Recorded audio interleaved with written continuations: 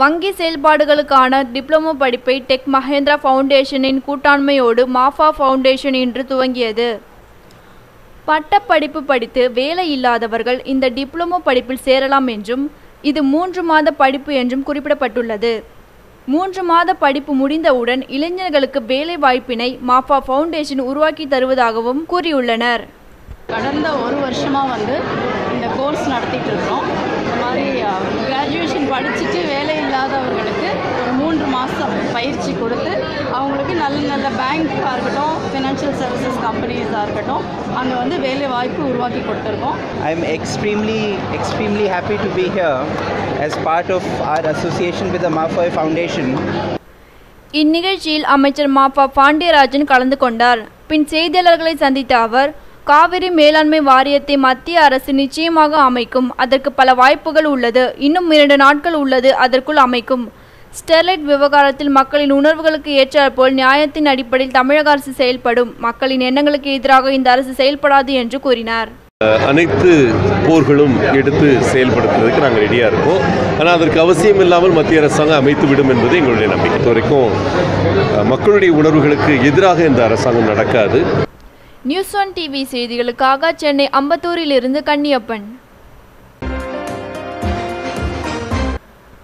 காலி பணியிடங்களை பதவி உயர்வின் மூலம் நிரப்ப வலியுறுத்தி தமிழ்நாடு ஆரம்ப பள்ளி ஆசிரியர் கூட்டணியினர் புதுக்கோட்டை மாவட்ட தொடக்க கல்வி அலுவலகத்தை முற்றுகையிட்டு நூற்றுக்கும் மேற்பட்ட ஆசிரியர்கள் உள்ளிருப்பு போராட்டத்தில் ஈடுபட்டனர்.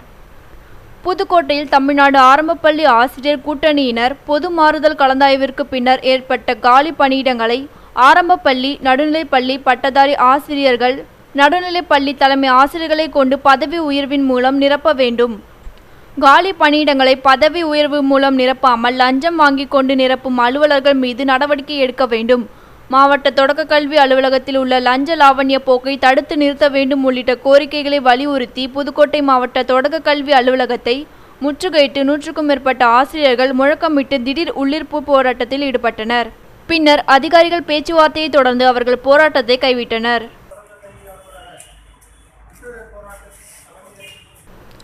நியூஸ் ஒன் டிவி செய்திகளுக்காக புதுக்கோட்டையிலிருந்து ரமேஷ். பெரம்பலூர் அரசு மருத்துவமனையில் ஸ்ட்ரெக்சர் தள்ளுவதற்கு பணியாளர்கள் வர மறுப்பதால் உயிருக்கு ஆபத்தான நிலையில் சிகிச்சைக்காக வருபவர்களின் உறவினர்களை அந்த பணிகளை செய்ய வேண்டியுள்ளதாக புகார் எழுந்துள்ளது. பெரம்பலூர் மாவட்டம் விசவக்குடியை சேர்ந்தவர் லியாகத் அலி அவரது மனைவி ஜுபைதா. இவருக்கு இன்று திடீரென உடல்நலக்குறைவு ஏற்பட்டு மயங்கிவிட்டார். இதனை அடுத்து வீட்டில் உள்ளவர்கள் அவரை அவசர அவசரமாக ஒரு காரில் அழைத்து கொண்டு பெரம்பலூர் அரசு மருத்துவமனைக்கு வந்துள்ளனர். மருத்துவமனையில் இருந்த மருத்துவர் செல்போனை பார்த்து கொண்டு சிகிச்சை அளிக்காமல் காலம் தாழ்த்தியுள்ளதாக கூறப்படுகிறது. இதனை அடுத்து லியாகத் அலி சத்தம் போட்டுள்ளார். உடனே அவரை கழிந்து கொண்ட மருத்துவமனை ஊழியர்கள் ஜுபைதாவிற்கு ஸ்கேன் எடுக்க வேண்டும் என்று கூறியுள்ளனர். மயக்க நிலையில் இருந்த அவரை ஸ்ட்ரெக்சரில் அழைத்துச் செல்ல பணியாளர்கள் வராமல் உடன் வந்த உறவினர்களை எடுத்துச் செல்லுமாறு கூறியுள்ளனர். இதனை அடுத்து அங்கு நிறுத்தப்பட்டிருந்த ஸ்ட்ரக்சரில் லியாகத் அலி தனது மனைவியை அதில் தூக்கி வைத்தபோது எவ்வாறு பயன்படுத்த வேண்டும் என்ற வழிமுறை தெரியாததால் நோயாளி தவறி கீழே விழும் நிலை ஏற்பட்டது. இதனை அடுத்து அப்படியே ஸ்ட்ரெக்சரை கையில் பிடித்துக்கொண்டே தூக்கி சென்றார். உயிருக்கு ஆபத்தான நிலையில் மருத்துவமனைக்கு வந்து மூன்று மணி நேரம் ஆகிறது. இதுவரை சிகிச்சையை ஆரம்பிக்காமல் அலைக்கழிக்கின்றனர் ஸ்ட்ரெக்சரை தள்ளுவதற்கு கூட பணியாளர்கள் வர மறுக்கின்றனர் என லியாகத் அலி புகார் தெரிவித்தார்.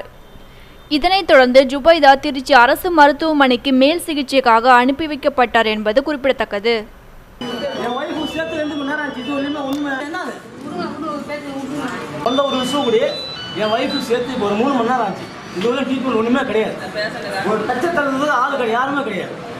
நியூஸ் ஒன் டிவி செய்திகளுக்காக பெரம்பலூரிலிருந்து வசந்த்குமார்.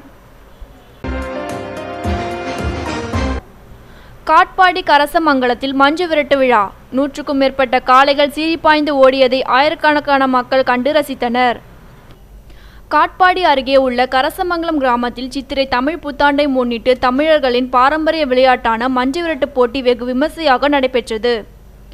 இதில் மாவட்டத்தின் பல்வேறு பகுதிகளில் இருந்தும் மற்றும் அண்டை மாநிலமான ஆந்திரா பகுதியில் இருந்தும் கொண்டுவரப்பட்ட நூற்றுக்கும் மேற்பட்ட காளைகள் வாடிவாசல் வழியாக சீறி பாய்ந்து மின்னல் வேகத்தில் ஓடியது. இதில் குறைவான நேரத்தில் ஓடிய காளைகளுக்கு ரொக்க பணம் பரிசாக வழங்கப்பட்டது. இதனை ஆயிரக்கணக்கான இளைஞர்களும் பொதுமக்களும் கண்டு ரசித்தனர். இதில் இருபதுக்கும் மேற்பட்டோருக்கு சிறு காயங்கள் ஏற்பட்டது. மேலும் இந்த மஞ்சு விரட்டு போட்டியானது வழக்கம் போல் இருபுறமும் அமைக்கப்படும் தடுப்பு வேலிகள் சரியாக அமைக்கப்படாததால் ஓட்டி வந்த பல காளைகள் தடுப்பு வேலிகளை உடைத்துக்கொண்டு பொதுமக்களை நோக்கி ஓடின. வழக்கம் போல் ஆர்டிஓ மற்றும் வட்டாட்சியர் வந்து கொடியசைத்த பிறகுதான் மஞ்சு விரட்டு நடைபெறும். ஆனால் அதற்கு மாறாக சுமார் ஐம்பது காளைகளுக்கு மேல் ஓடிய பிறகே காட்பாடி வட்டாட்சியர் ஜெயந்தி காலதாமதமாக வந்தார். மேலும் போலீசார் பாதுகாப்பும் சரியாக இல்லை என்பது அப்பகுதியில் புலம்பலாக இருந்தது.